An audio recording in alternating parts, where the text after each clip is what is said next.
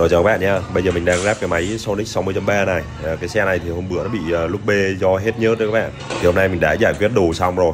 À, Trước đó thì anh kêu là tiết kiệm lại thôi. Nhưng mà về sau là anh quyết định là tháo ra Thay tay Genuma và làm tất cả mọi chi tiết luôn nha các bạn.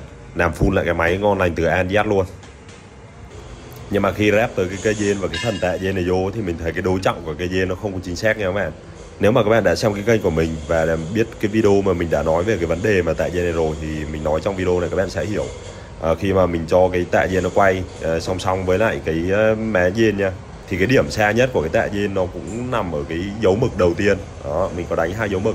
Nhưng mà cái dấu mực đầu tiên ấy thì à, cái tạ nhiên này nó đang à, thẳng đấy các bạn. Thì không đúng nha cái tạ nhiên nó phải nằm xa hơn ở cái dấu mực phía trong đây mới được.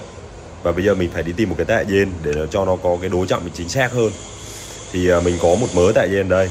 Và có cái tại gen thì nó bị xa quá bạn nhưng mà có cái tại gen thì nó bị gần quá. Còn có cái tại gen thì nó cũng giống như cũ ở trên xe. Cho nên là mình phải lựa mình phải tìm à, nhiều cái nhá. Cái nào mình cảm thấy phù hợp nhất thì mình gắn vô các bạn. À, cái này thì mình làm không theo quy chuẩn của hãng cái này gì đâu nha. Mình cứ tìm thấy cái nào nó phù hợp thôi.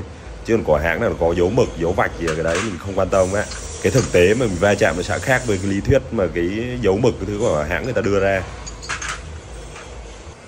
rồi sau một hồi lục tìm thì mình cũng tìm ra cái tạ dê nó phù hợp với cái ý muốn của mình rồi nha. Khi mà mình cho song song ấy thì cũ nó nằm ở cái dấu mực phía bên trong ấy nhưng mà cái này ấy thì mình ờ, đúng với cái dấu mực mà mình đã mong muốn, cái vị trí nó nằm ở đấy rồi.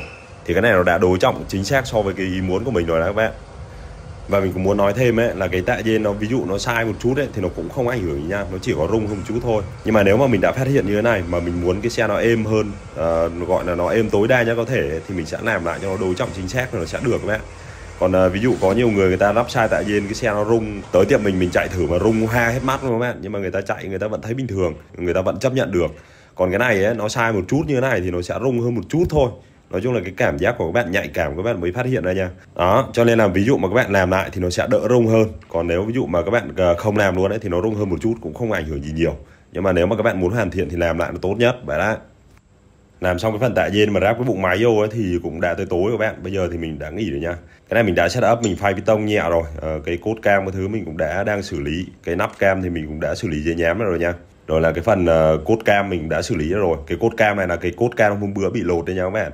À, và mình xử lý lại thì nó đã mịn lại rồi. Tại vì nó lột rất là nhẹ thôi cho nên xử lý dây nhám hoàn toàn là ok. Rồi cái phần gối đỡ bên dưới thì mình cũng đã xử lý dây nhám lại. À, nếu ví dụ mà các bạn ờ, đi phay lại nhìn cho nó đẹp ấy thì cũng được thôi. Nhưng mà mình thấy nó không hoàn toàn không cần thiết. Xử lý lại là ok rồi các bạn. Móc hút xẻ thay xúc bắp. Nó sau đầu CBR đó mọi thứ mình đã set up ok rồi. Cái này mai mình chỉ việc lắp vô thôi. Ờ, là bố nồi thứ mình chưa tháo ra các bạn. Mai mình sẽ tháo ra mình thay là bố nồi cái thứ đó nó được. Rồi vậy nha à, mai có gì mình sẽ quay phim cho các bạn xem tiếp về cái xe này.